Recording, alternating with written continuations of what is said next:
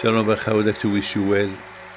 I pray to Hashem to give you, all of you, happiness. Three small stories, beautiful stories. A woman that always, when I used to go to Zurich, Zurich she, she used to receive me in her house, receiving people. Now she lives in Israel.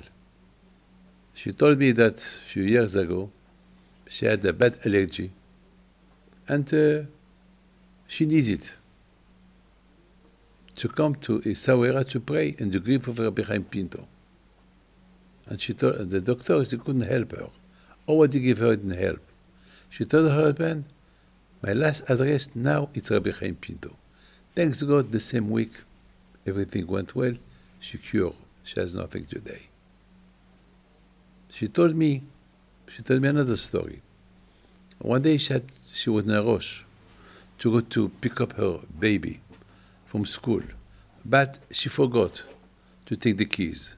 She locked the house, no keys. It was Friday. And the food was on the gas, cooking. What she's gonna do? She was, she did not know from where to get the key. She was desperate. She did not work. And she prayed to Hashem. Next to her house, there is a, a window. But that window for 10 years is always closed. They never open it. She never opened it. And she prayed Hashem, Hashem, with the zechut of Rabbi Chaim Pinto, maybe this window is open. But she thought, but I never opened it. How can it be open? For 10 years I'm here. I don't know what. She said, what happened to me? I just touched it and it, opened. It's, she said, it's impossible because always it's closed with a lock. Who opened it?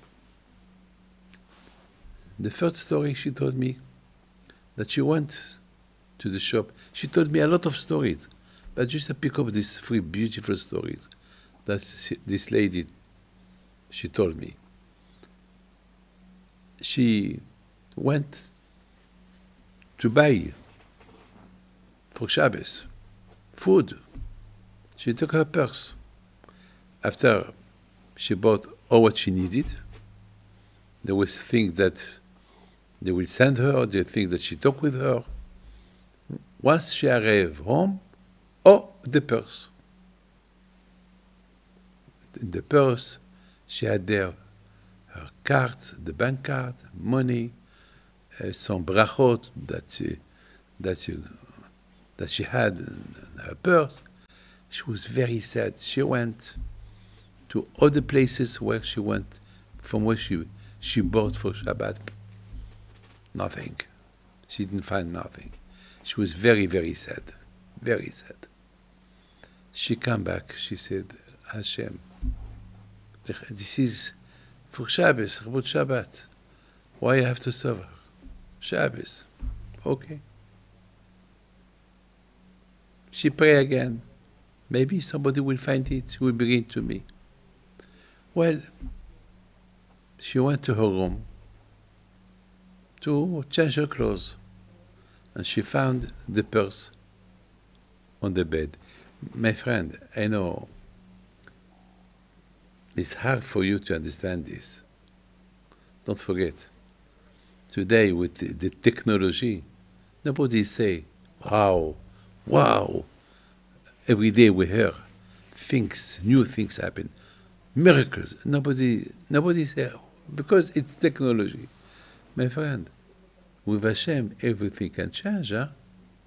The same way that Hashem listened to the prayer of the tzaddikim, the same way He can listen to you. If you pray, and really you pray from the bottom of your heart, Hashem can change things. How many people the doctor said it's finished for you? Said we can, there's nothing you can do. About Hashem, they live. They live. Not only they live, I know somebody, they killed him with chemo 30 years ago. And uh, thanks God, Baruch Hashem. He, he had children. The doctors cannot believe from where this sperm came. They told him before that he could, but this man, he prayed so hard to Hashem, and Hashem listened to his tefillot. My friend, this is Emunah. We show the best. Thank you.